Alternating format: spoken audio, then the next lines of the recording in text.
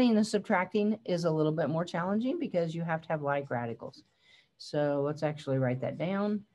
You must have like radicals to add and subtract.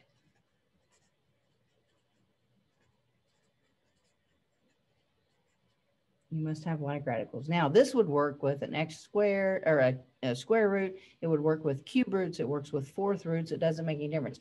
If I'm going to add and subtract radicals, all right, I have to have the same radical. Okay, most of the examples here I'm going to give you are going to be your square roots, but the exact same principle applies to um, cube roots, fourth roots, etc.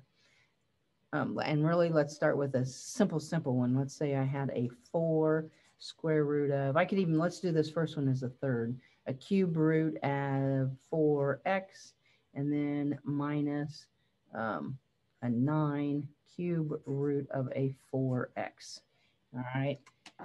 So I look at my radicals. This is a cube root of 4x. This is a cube root of 4x. Those are like radicals. So I can put them together just like I would like terms. All right. So basically all I have to do is take care of that coefficient in front. 4 minus 9 is going to give me a negative 5.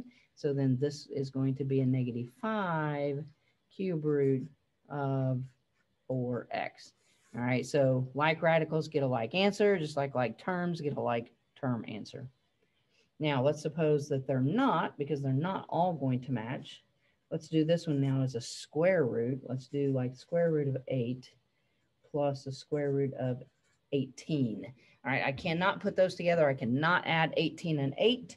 All right, what I need to do is I need to break these up or simplify these. We did simplify um, square roots and cube roots and stuff in Algebra 2. You're going to do the factor tree concept. All right, but just keep in mind that when you do this, you've got to keep that radical over the numbers all the way through the problem until you get to the very end. All right, now the deal is I don't want to just come up with any old two numbers that multiply together to be 20 or to be eight there. I want the biggest perfect square root. All right, that's going to make my problem go really, really fast. Okay, so perfect square roots. Let's make a list over here. All right, so perfect square roots. All right, so what am I talking about? Well, I'm talking about um, square root of 4 because that's 2, and I know that. All right, square root of 9, that's 3.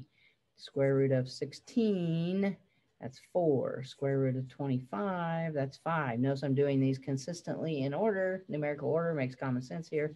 Square root of 36 is 6. And I could keep going. All right, you get the idea.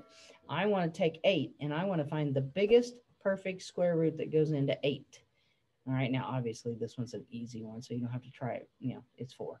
Um, but if that was a much bigger number, I would take the number, divide by four, see if it divides. All right, and then I would take the number, divide by nine, and I would come up with the biggest perfect square. If I do that, my tree is very, very short. Okay, my tree is very, very short. But we said four is the biggest one that goes in eight. So square root of four times square root of two. I always put that perfect square first because it's a perfect square and I know I'm going to be able to take the take, figure it out what it is. So this is a 2. So then this whole thing becomes a 2 radical 2. Okay, now I'm going to do the same thing for the 18. All right, this one works a little bit better. 18 divided by 4? Nope. 18 divided by 9? Yes. If I do this, 18 doesn't divide by 16, and then by the time I get 25, it's bigger than my number.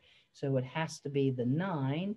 So square root of 9 times square root of 2. And again, that perfect square root there goes in front so that I can just go 3 square root of 2.